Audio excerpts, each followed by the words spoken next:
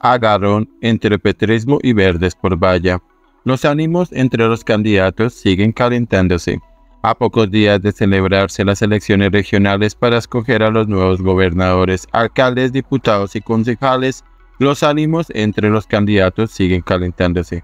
En esta oportunidad la polémica surge en medio de un rifirrafe entre los aspirantes a la alcaldía de Bogotá, Gustavo Bolívar y el concejal y candidato a la reelección por el partido Alianza Verde, Julián Rodríguez Astoque. Bolívar se molestó por una valla publicitaria de Rodríguez Astoque, por lo que trinó en su cuenta de ex que el mensaje emitido en la valla trata de tergiversar uno de los proyectos de más relevancia del gobierno del presidente Gustavo Petro, lo que rechazó de manera categórica. En la pieza se lee que el Partido Alianza Verde promueve becas y empleo, mientras que el Pacto Histórico ofrece a los jóvenes delincuentes plata para no matar.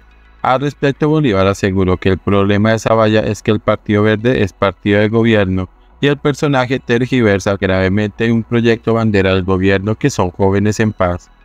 Además miente, para tener derecho al millón el joven debe estar estudiando y hacer trabajo por su comunidad, manifestó el ex senador a través de su red social sobre las declaraciones hechas por el ex congresista Rodríguez que aseguró que ha sido blanco de múltiples ataques y amenazas a través de las redes sociales. Aún así manifestó que es su deber continuar defendiendo a Bogotá. Muchos hoy se muestran indignados y posan de víctimas por una valla, donde usó una frase del propio presidente Petro. Ahora se coordinan para hacer lo único que saben, difamar e insultar. Yo voy a seguir defendiendo a Bogotá y sus proyectos, los cuales Petro y Bolívar quieren frenar por caprichos, puntualizó.